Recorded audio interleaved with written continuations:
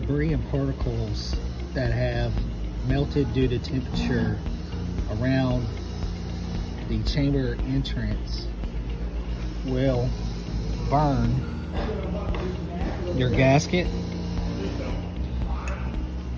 And what will eventually happen is your plastics here here and at the door will warp causing a door close error issue.